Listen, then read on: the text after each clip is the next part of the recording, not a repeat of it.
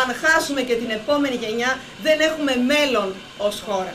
Η νέα γενιά βρίσκεται στην πρώτη γραμμή για το πράσινο κοινωνικό συμβόλαιο, τόνισε από το Ηράκλειο η Φόφη Γεννηματά στο πλαίσιο συνάντησής της με τα μέλη του δικτύου νεολαίας του κινήματος Αλλαγής. Υπάρχει και άλλος δρόμος. Υπάρχει ο δρόμος που προτείνει το κίνημα Αλλαγής. Μπορούμε να κάνουμε την Ελλάδα την Ελλάδα που θέλουμε, την Ελλάδα του μέλλοντός μας. Μπορεί να γίνει πράξη η νέα αλλαγή μέσα από αυτό το πράσινο κοινωνικό συμβόλαιο.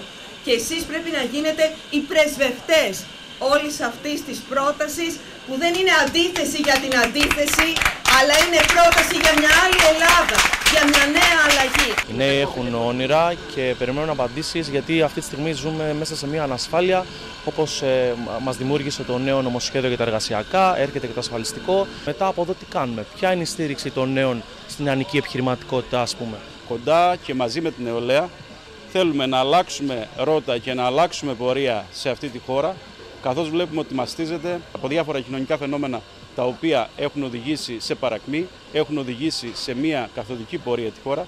Μπορούμε να κάνουμε πράξη την Ελλάδα του μέλλοντος, δήλωσε η Φόφη Γεννηματά, η οποία εξαπέλυσε βολές εναντίον της κυβέρνησης.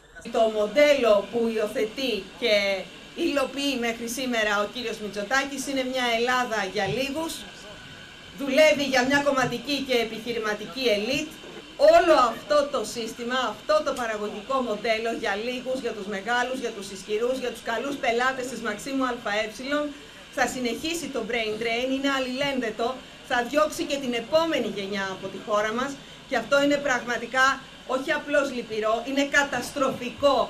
Ιδιαίτερη αναφορά έκανε η πρόεδρος του Κινάλ στις αναπτυξιακές δυνατότητες του νησιού αλλά και στο νέο παραγωγικό μοντέλο, το οποίο στηρίζεται στην παραγωγή στον τόπο μας. Πρέπει να βρούμε τα συγκριτικά πλεονεκτήματα της κάθε περιοχής και η κάθε περιφέρεια της χώρας να έχει αναπτυξιακή ταυτότητα. Και εδώ έχετε πανεπιστήμια, έχετε το ΙΤΕ, έχετε πολυτεχνείο. Αν αυτά συνδεθούν με την αυτοδιοίκηση, με τις επιχειρήσεις και τους παραγωγούς, τότε έχουμε μια τεράστια ευκαιρία για την Κρήτη αξιοποιώντας τους πόρους του Ταμείου Ανάκαμψης το νησί αυτό να φύγει μπροστά, να γίνει πιλότος για την ανάπτυξη που θέλουμε, για το νέο παραγωγικό μοντέλο.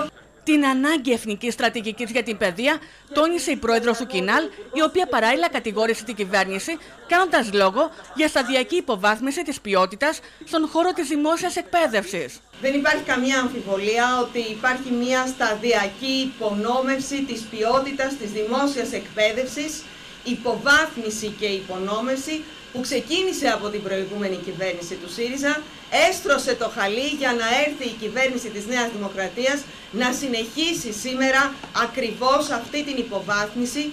Παράλληλα τονίστηκε η ανάγκη για ένα νέο μοντέλο βιώσιμης ανάπτυξης που σέβεται το περιβάλλον και που αναβαθμίζει την ποιότητα ζωής των πολιτών. Και ταυτόχρονα μιλάμε και για ενεργειακή δημοκρατία και έρχομαι εδώ στο ζήτημα των ΑΠΕ, στο τι γίνεται στα βουνά, στο πώς οργανώθηκε όλο αυτό το σύστημα μέχρι τώρα στη θέση της κυβέρνησης Μητσοτάκη. Νωρίτερα η Φόφη Γεννηματά επισκέφθηκε το ΚΕΘΕΑ και την τοπική οργάνωση Μασταμπά.